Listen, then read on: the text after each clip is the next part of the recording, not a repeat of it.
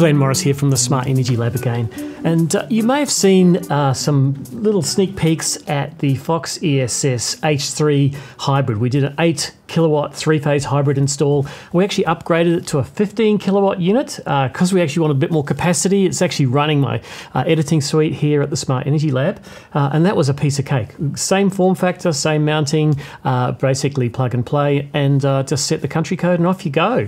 But today I want to talk a bit about the battery systems. Now, uh, it's combined with the EQ4800 battery modules. We've actually got nine of them in the stack, which gives us just over 41 kilowatt hours of storage in a footprint that's just tiny, size of a small hmm, two suitcase. I mean, it's, well, what's about that big? Pretty small anyway. I'll put the dimensions in the description.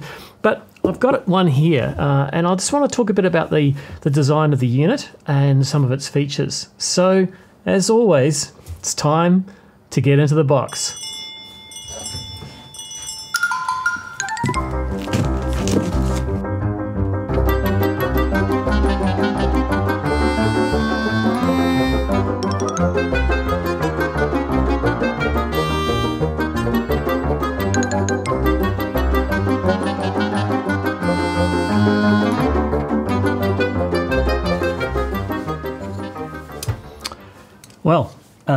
Is. Uh, one of the stackable battery units of the EQ4800 series.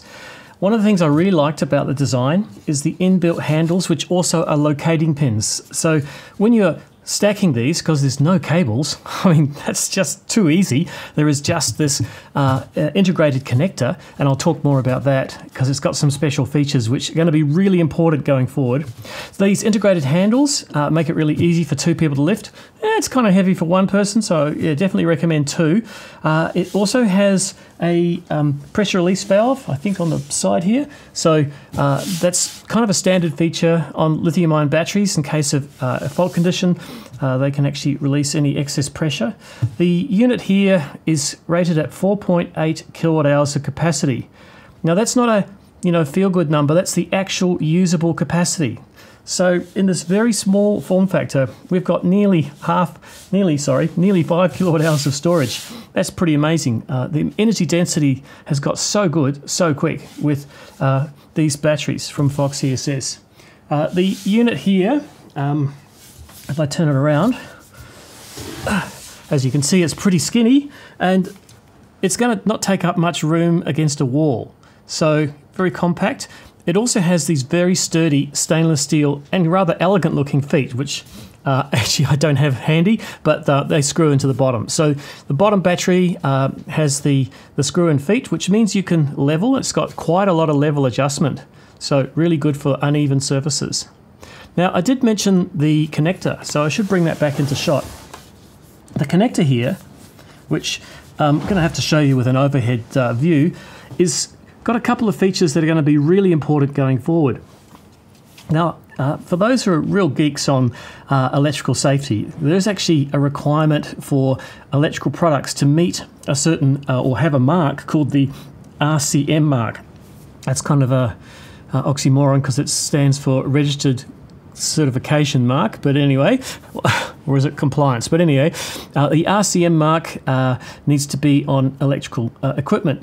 Now, the standard for uh, RCM is ASNZS 4417.2 uh, 2020, and it's going to be amended. And the amendment should come out next month. And the amendment is going to include battery equipment uh, in that. Uh, standard. So that means that uh, equipment like this, battery equipment, will require an RCM mark. It also will be at risk level three, which means it's got to be tested uh, by an Australian or New Zealand certified test lab, uh, so something that's JAS-ANZ certified. Um, one of those tests is going to be that you can't touch any uh, conductive parts on the connectors, and these connectors are shrouded. They're they're actually um, IP2X. That means you can't touch any conductive parts with your finger. Uh, and they also have no voltage on them, so they're de-energized. So when I put a voltmeter across them, I can't measure any voltage. So this is a perfectly safe battery, even when you're handling it before you assemble it into a completed product and put the BMS unit on top. That is so cool. Now let's get into the tech stuff a bit. Got to go and get my notes over here. Well, you saw the battery module being unboxed. This is the master module, the one that goes on top, and it's also a 4.6 6 kilowatt hour battery module, but with the BMS built in with isolation and cable connections and cable protection. I'll talk more about the cable protection in a minute. Uh, in the box also comes the feet because the minimum you would have would be one battery module and one BMS plus battery. This is the M unit, the, notionally the master, and uh, you also get in the package these wonderful feet. Now, if I open these up, these are probably the sturdiest feet I've ever seen. Um, what's that? It's about a 12 mil stainless steel bolt uh, and gives you a good uh, 20 mils of adjustment.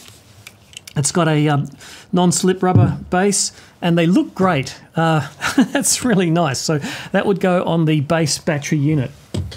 So you get four of those, kind of ideal.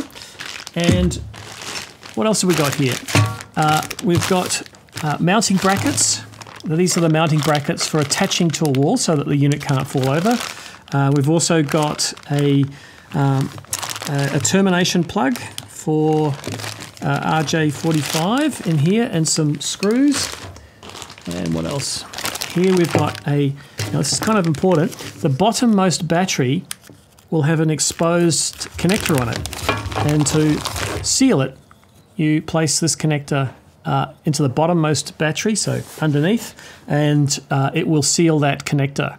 And it also provides, you probably can't see it, but it's a pass through. So effectively, there's a, a loop circuit between the batteries from the positive at the top, negative, positive, negative, positive, negative, and then back up again, negative, positive, negative, positive to negative at the top. And that's how you get a relatively high voltage stack of, of, uh, of battery modules. The big box is the cables. So they come with the battery cables, which are um, connect under here. Now, this is a cable protection unit that Fox ESS have made to meet the standard requirements of AS NZS 5139. Now, I've said it in other forums, but there is no exemption from the mechanical protection of battery cables over 60 volts, DVC B or C battery cables. There's no 300 mil rule when it comes to batteries like there is for PV. So Fox, uh, in their wisdom, realized that they needed to make a special uh, protection device, and that's what this uh, little clip-on unit covers the plug and socket connections and allows you to bring in some conduit to have proper mechanical protection. So cables, uh, more mounting brackets, and a, a bonding earth wire as well in this box. So that's the that's the main uh, accessories. But let me just talk a bit about the features. Now, uh, as I said, maybe I'll put these out the way. I turn this around. Around on this end, we have a double poled DC circuit breaker. So we've actually got uh, overcurrent protection and isolation in a uh, IP rated enclosure on the master BMS unit. So that's built into this top unit here.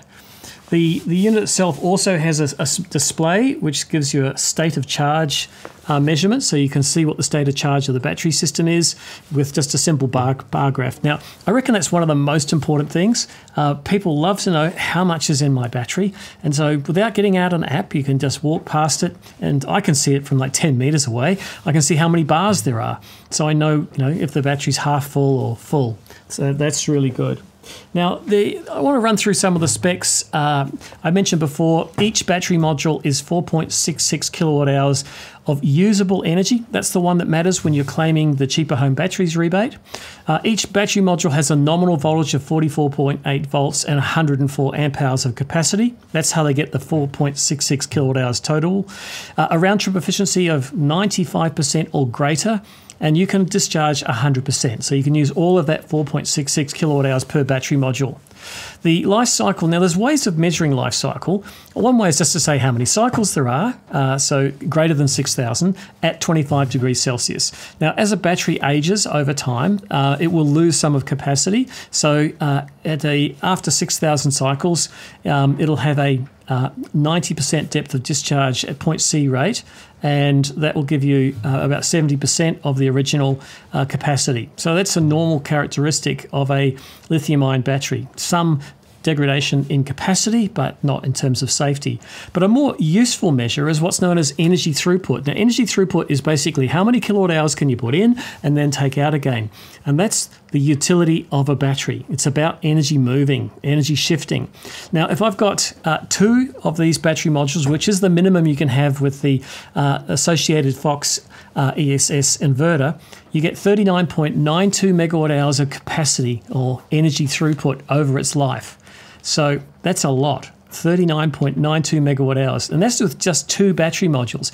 If you've got the full height stack, which is nine of these, uh, so uh, eight uh, battery modules plus the, the master BMS with built in battery, you'll get 176.94 megawatt hours of capacity. Phew, that's huge. So uh, there's communication with these batteries, which is, which is why they can uh, be operated at a high charge and discharge rate using CAN bus. And the uh, dimensions of the unit, well, uh, maybe I'll tell you the maximum because that's what's really interesting. Uh, so the dimensions uh, in terms of width, uh, 570 millimeters by 380 millimeters deep, but if you stack all nine of them up, they're only 1.3 meters high, 1.352 to be exact. So, yeah, about that high. And that gives you a total capacity, wait for it, of nearly 42 kilowatt hours. Yeah, and, and basically a 1.3 meter stack of quite compact batteries, all nine of them. That's what we've got here at the Smart Energy Lab. So um, it's a really, really impressive uh, feature.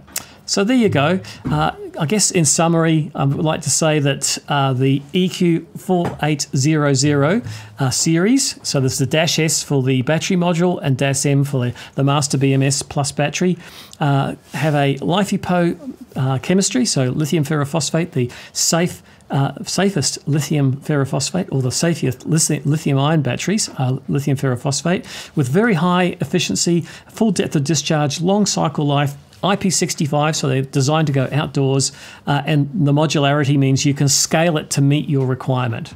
So there you go. Uh, I'm really impressed with the design of these products, and I'm impressed with Fox ESS with coming up with a cable protection uh, cover to meet Australian New Zealand standards. Anyway, thanks for watching. Hey, check it.